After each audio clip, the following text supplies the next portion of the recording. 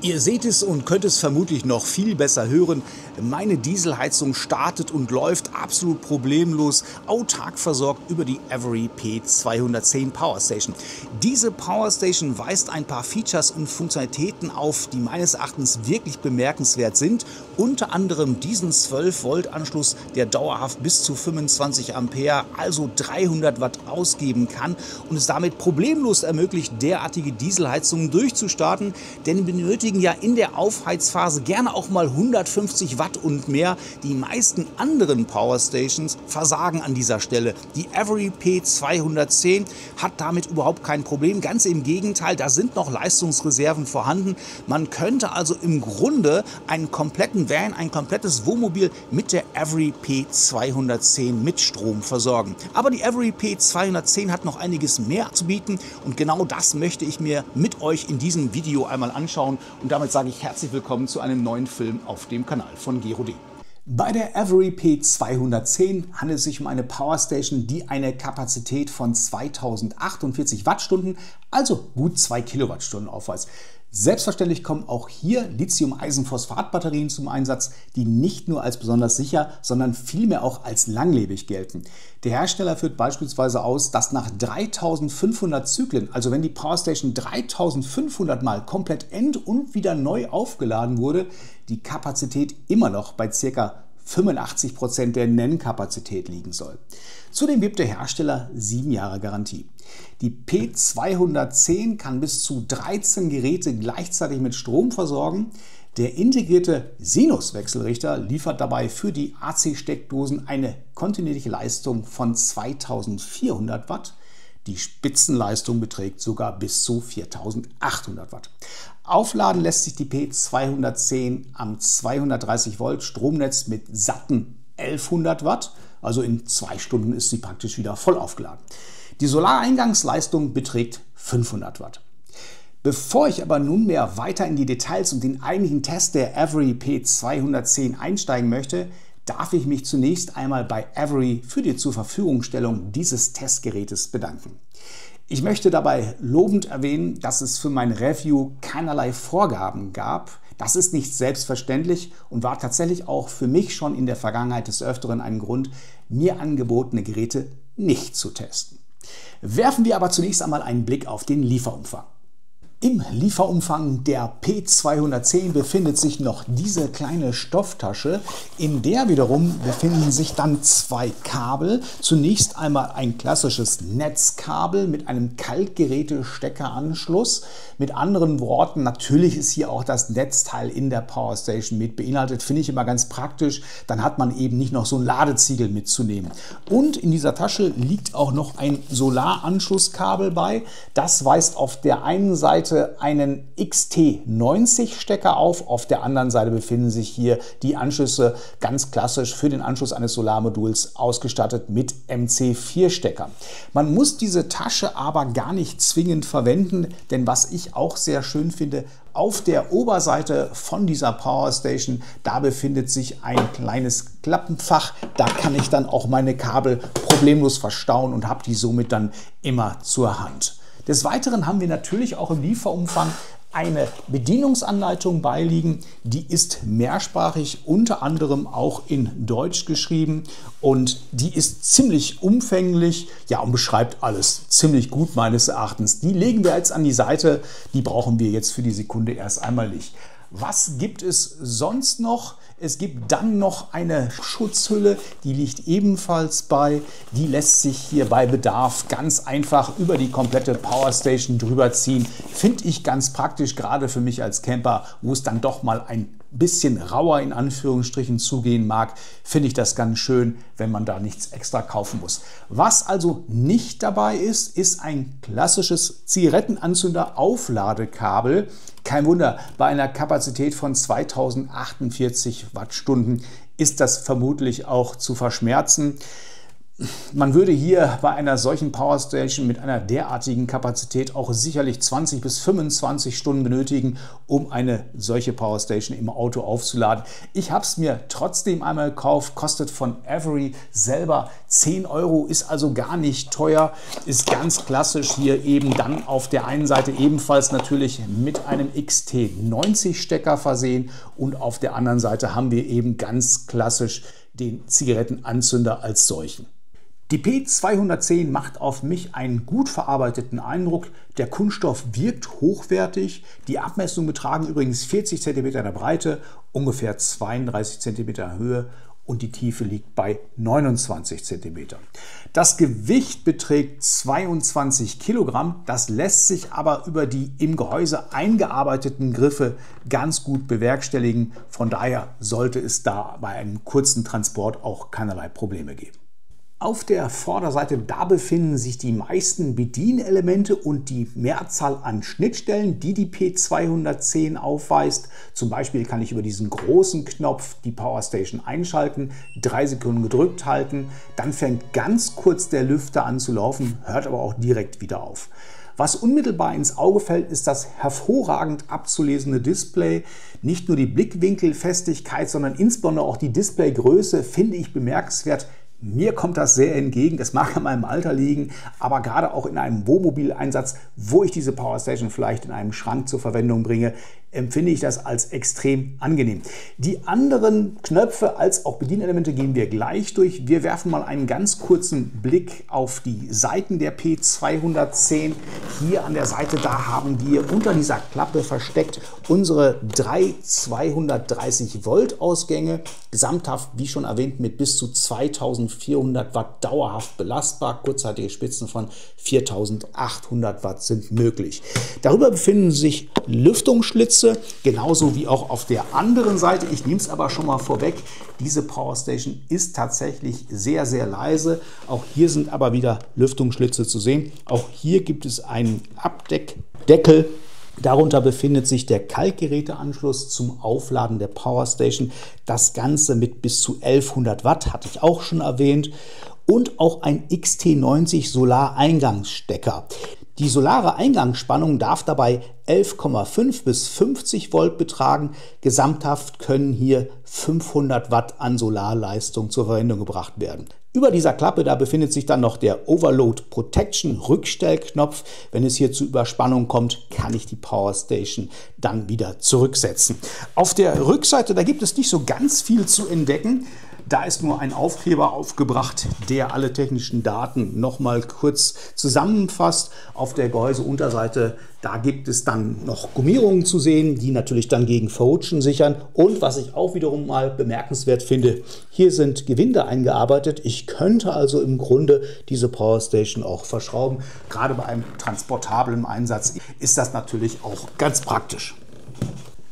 Schauen wir uns nunmehr die P210 etwas mehr aus der Nähe an, werfen wir einen ersten tieferen Blick auf das Display. Wir haben hier zunächst einmal in Prozentwerten aufgelöst den aktuellen Ladezustand, 58 Prozent beträgt dieser gerade. Das Ganze wird dann hier auch nochmal etwas gröber gerastet grafisch dargestellt.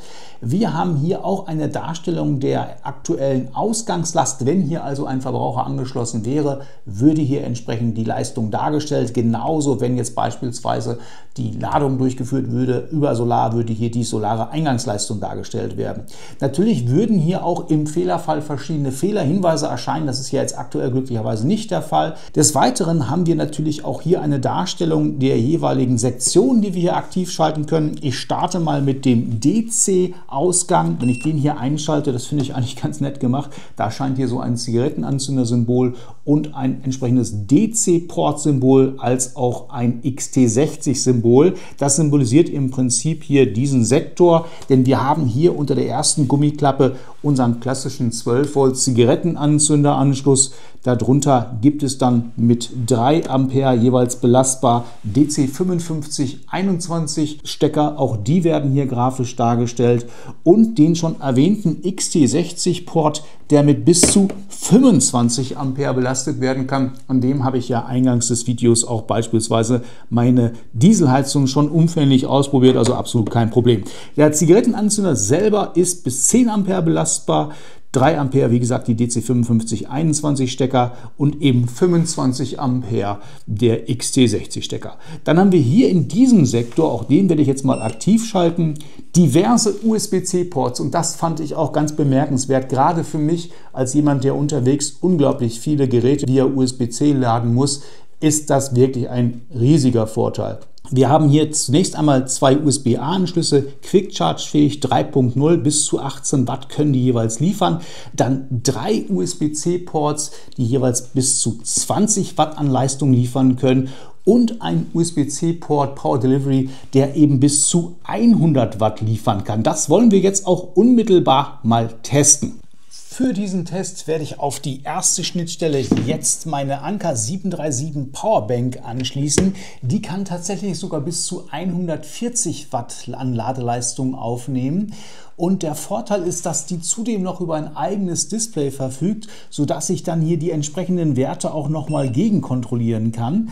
Und zwar werden jetzt gleich hier ja maximal 100 Watt eingespeist und wir können das dann unmittelbar eben auch mal vergleichen. Die Ladeleistung, die steigt jetzt auch hier schon auf ungefähr 90 Watt und geht noch ein bisschen weiter. Das deckt sich auch in etwa mit den Informationen, die ich hier auf der Anker 737 Powerbank stehen habe. Ich versuche euch das mal in die Kamera zu halten.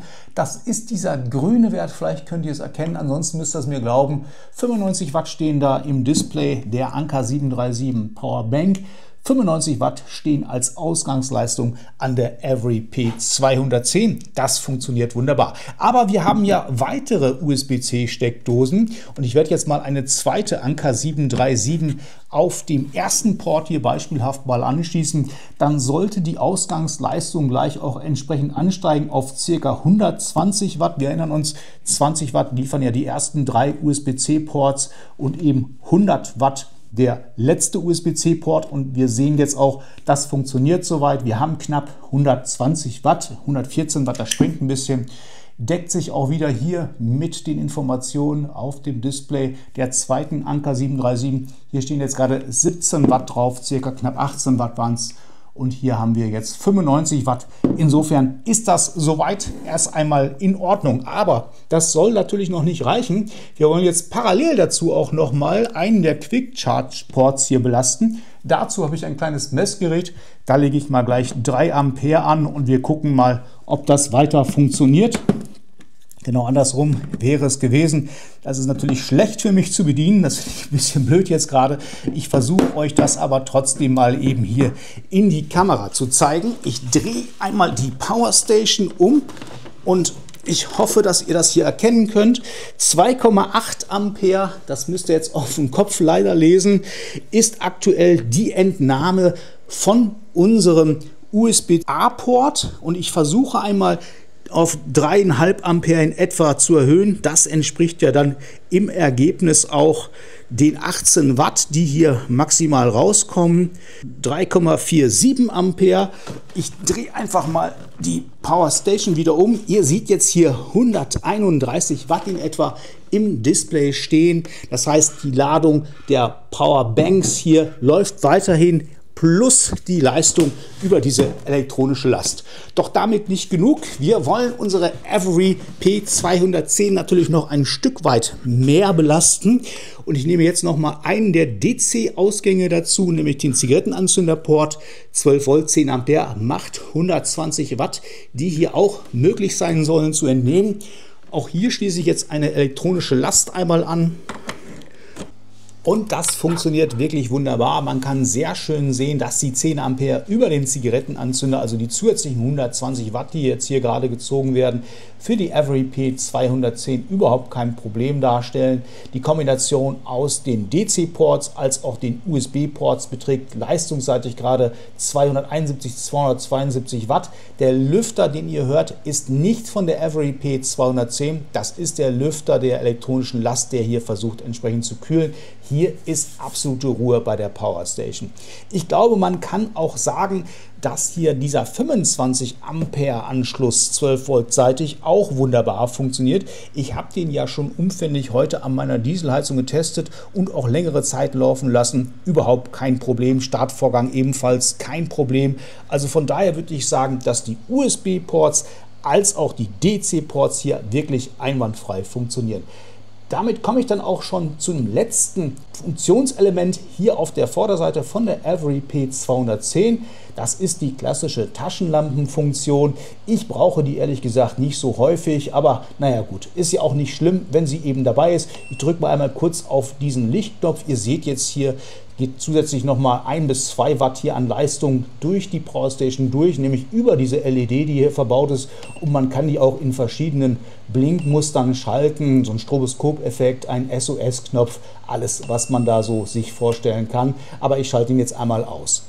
Eingeschaltet hingegen habe ich schon seit einigen Minuten den Wechselrichter der Avery P210. Mit anderen Worten, die 230 Volt Steckdosen sind aktiv. An der ersten Steckdose habe ich über ein kurzes Verlängerungskabel diese Messsteckdose zusätzlich angeschlossen, denn die zeigt uns auch die Spannung an. Dort läuft im Moment dieser Heizlüfter mit ca. 1500 Watt. Das können wir ja auch ganz gut sehen einerseits im Display der Power Station als auch eben hier auf unserer Messsteckdose in hellblau dargestellt ist die ungefähre Leistung zurzeit. Wie gesagt, die liegt bei grob 1500 Watt. Darüber in gelb, da sehen wir die aktuelle Spannung. Was ich total beeindruckend finde, obwohl die Power Station schon einigen Minuten mit dieser relativ hohen Last läuft, ist die aktuell wirklich überhaupt nicht zu hören. Ich zeige euch das mal über ein Messgerät, denn wenn ich jetzt hier spreche in etwa ein ein Meter Entfernung, dann seht ihr, wenn ich spreche, dass hier irgendwo zwischen 50 und 60 Dezibel anfallen. Und wenn ich jetzt gleich nicht mehr rede, dann steht hier Low im Display. Habt ihr vielleicht gerade gesehen, ich wiederhole es nochmal.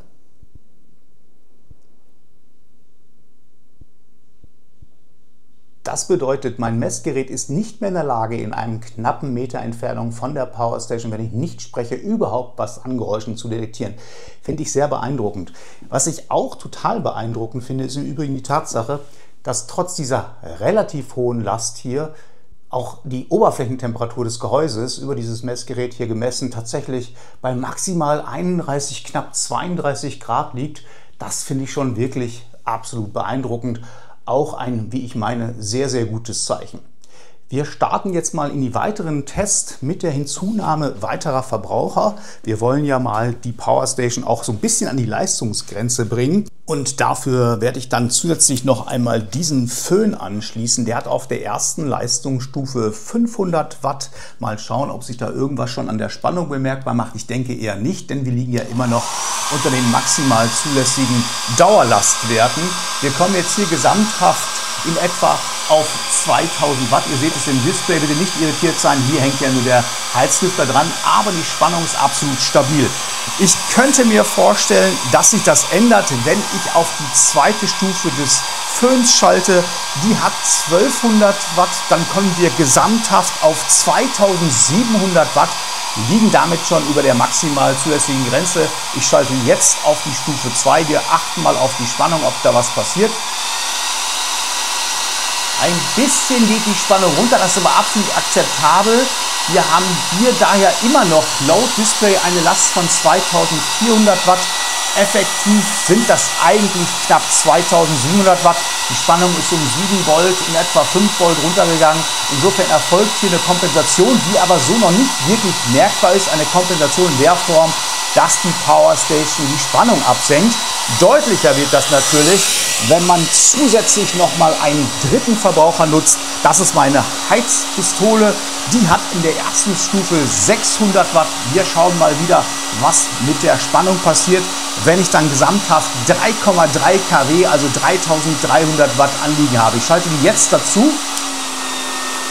Ja, und man sieht jetzt schon relativ deutlich, dass die Spannung um ca. 20 Volt abgefallen ist. Hier erfolgt also weiterhin eine Kompensation. Die Powerstation versucht diese 2400 Watt aufrechtzuerhalten durch eine Spannungsabsenkung.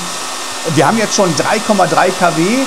Ich wundere mich schon, dass die nicht abschaltet, aber wir können das weiter mal beobachten, was passiert, wenn ich in die Stufe 2 der Heizpistole nochmal schalte. Dann haben wir hier tatsächlich zusätzlich nochmal 800 Watt, sodass wir gesamthaft auf 4100 Watt kommen. Ich habe jetzt umgeschaltet. Ich wundere mich gerade, dass diese Powerstation immer noch läuft. Die Spannung ist auch deutlich nochmal runtergegangen auf gut 170 Volt, wie ich hier sehen kann. Sie läuft aber immer noch Ich weiß jetzt gar nicht aktuell, wie ich das hier provozieren soll, dass die Powerstation abschaltet. Bei ohmschen Lasten, ich schalte mal alles wieder aus, dann könnt ihr mich auch ein bisschen besser verstehen, ist eine solche Vorgehensweise der Spannungsabsenkung sicherlich unkritisch. Ohmsche Lasten sind die elektrischen Verbraucher, die, ich sage jetzt mal vereinfacht dargestellt, primär Wärme erzeugen, wie eben ein solcher Föhn oder eine solche Heizung hier. Insofern, die nimmt da keinen Schaden, da wird nur die Leistung gemindert. Bei anderen Lasten, die da deutlich empfindlicher sind, wie Motoren zum Beispiel, da könnte es dann tatsächlich bei einer zu geringen Spannung zu Problemen kommen, Schaltnetzteile und so weiter. Die können da sehr sensibel reagieren. Da muss sich jeder sein eigenes Bild machen, ob das so eine gute Idee ist, dass die Powerstation so weit in die Spannungsabsenkung geht. Teils ist das natürlich in Ordnung, wie gesagt, bei solchen Verbrauchern. Insofern auch irgendwo ganz gut, dass sie nicht direkt abschaltet, aber bei empfindlichen Verbrauchern, wenn man die an so einer Powerstation denn überhaupt zur Verwendung bringt, könnte das eben gefährlich sein. Die Powerstation, die lädt jetzt auch schon wieder seit einigen Minuten mit den 1100 Watt. Diese Ladung mit 1100 Watt, die läuft so in etwa bis 80 Prozent. Dann wird hier die Ladeleistung abgesenkt, um dann das restliche Aufladen der Batterie schon zu gestalten. Was jetzt auch schon wieder bemerkbar ist, auch im Ladevorgang, ist diese Powerstation extrem leise. Ich höre wieder einmal auf zu reden. Und ihr seht, ich bin jetzt hier bei 31 Dezibel knapp in einem knappen Meter Entfernung. Das ist wirklich ein ganz toller Wert. Auch im Hinblick auf die Wärmeentwicklung gibt es hier absolut Positives nur zu berichten. Ich werde jetzt noch mal kurz durchmessen. Es bleibt bei den schon genannten 32 Grad, egal wo ich messe, im Maximum. Hier an der Oberfläche haben wir gerade 37 Grad. Das ist völlig unkritisch. So können wir dann auch jetzt die Gelegenheit nutzen, einmal zu testen, ob es neben der Ladung auch möglich ist, über den AC-Ausgang parallel Energie zu entnehmen. Mal schauen, wie sich die Powerstation hier verhält. Ich habe dazu noch einmal meine Heizpistole hier zur Hilfe genommen. Die hat in Stufe 2 in etwa 1300 Watt Ausgangsleistung. Wir achten mal hier auf das Display, was passiert. Die Eingangsleistung erhöht sich um den Output, also insofern Pass-Through-Laden ist hier naturgemäß überhaupt kein Problem. 1300 Watt gehen raus, 2400 Watt gehen rein. Wenn ich jetzt die Heizpistole ausschalte, dann wird die Inputleistung sich auch gleich wieder auf die 1100 Watt reduzieren. Mit anderen Worten, diese zusätzliche Leistung umgeht praktisch die Batterie und wird direkt hier meinem Verbraucher zugeführt.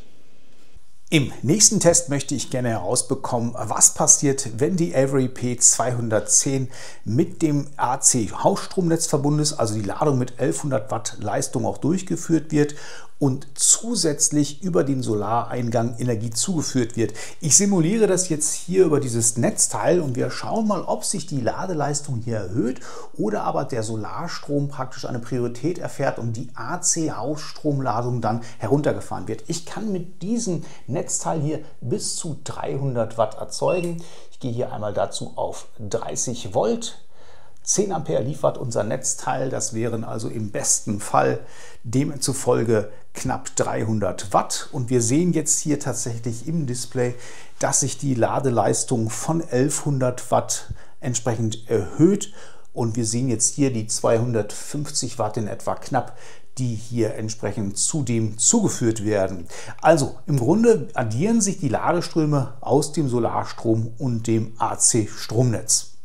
In meinem nächsten Versuch möchte ich einmal ausprobieren, ob sich die P210 von alleine einschaltet, wenn beispielsweise morgens Solarstrom anliegt. Ich simuliere das hier wieder erneut über mein Netzteil. Ich werde jetzt hier entsprechend eine kleine Spannung wieder vorgeben. Mal gucken, was passiert, ob hier sich eben entsprechend der MPPT-Tracker dann auch ein wenig muckt. Das scheint schon der Fall zu sein. Gucken wir mal, was da weiter passiert. Ich habe jetzt hier 17 Volt eingestellt und wir sehen tatsächlich, die Avery P210 hat sich eingeschalten und nimmt jetzt auch hier schon Fahrt auf. Die Ladung wird aktuell mit roundabout 50 Watt durchgeführt. Das funktioniert einwandfrei. Man muss allerdings auch festhalten, dass gerade im Grenzbereich, da wo der interne MPPT-Tracker von der Avery P210 anfängt zu arbeiten, ist dann doch auch morgens zu einem deutlichen Klackern des Relais kommt. Insofern empfiehlt auch Avery tatsächlich die P210 vom Solarmodul morgens beispielhaft zu trennen, um eben diese Grenzbereichsaktivitäten und dieses dann wirklich nervige Relaisklackern eben auch zu unterbinden. Prinzipiell schaltet sie sich aber eben bei Anliegen eines Solarstroms von alleine ein. Seit einem Ladezustand von ca. 80 Prozent hat jetzt die P210 im Rahmen der Wiederaufladung die Ladeleistung deutlich reduziert. Die beträgt jetzt noch ungefähr 50 Prozent von den 1100 Watt. Und was total auffällig ist, ist die Tatsache, wie leise diese Powerstation ist. Wenn ich jetzt aufhöre zu reden in etwa einem halben Meter Entfernung, dann seht ihr hier vielleicht noch 39, 38 Dezibel. Das sind wirklich faszinierende Werte. Also das kann man praktisch schon fast nicht mehr hören. Auch beeindruckend finde ich die Tatsache, dass die Temperaturentwicklung wieder in einem sehr, sehr geringen Bereich liegt. Hier an der Vorderseite beispielsweise haben wir jetzt gerade 30 Grad zu verzeichnen. Hier oben auf der Avery P210, da mittel ich jetzt 35 Grad. Also wirklich einwandfrei die Funktion, ein echter Leisetreter. Die Avery P210 habe ich nunmehr wieder auf 100% voll geladen. Den Wechselrichterausgang habe ich bereits eingeschaltet. Angeschlossen habe ich erneut meinen 1500 Watt Heizlüfter. Damit werde ich jetzt einen Entladekapazitätstest im Wechselrichterbetrieb mit der P210 durchführen. Jetzt werde ich meinen Heizlüfter mal einschalten und dann werden wir gleich, also in ungefähr hm, anderthalb Stunden, denke ich, uns wiedersehen. Für euch dauert es auch noch ein paar Sekunden. Dann sage ich, was ich hier entnehmen konnte.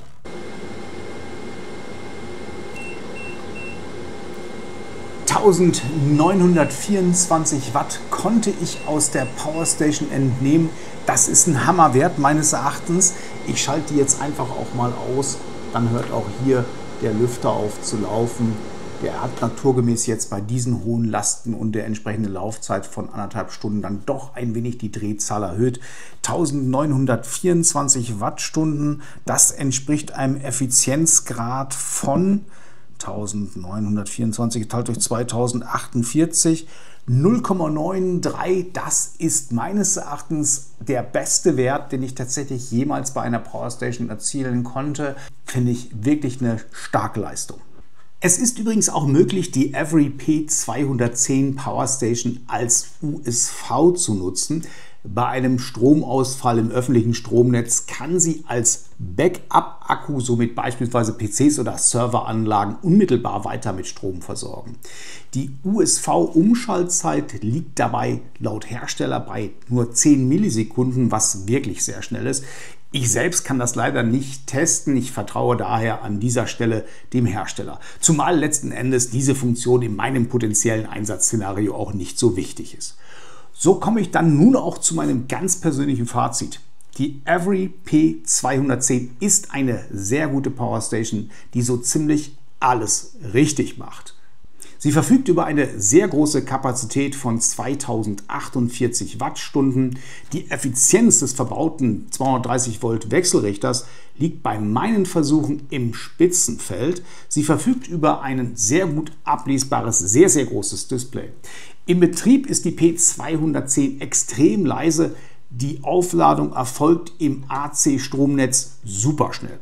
Sie verfügt über eine Vielzahl von Anschlüssen, angefangen bei den drei mächtigen 2400 Watt Steckdosen über die diversen USB- und USB-C-Ports bis hin zu dem 25 Ampere XT60 DC-Ausgang. Einen echten Wermutstropfen konnte ich bei der Avery P210 nicht ausfindig machen.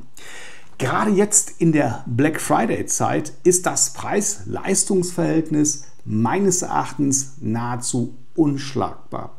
Bei Amazon kostet sie zurzeit sehr faire 849 Euro.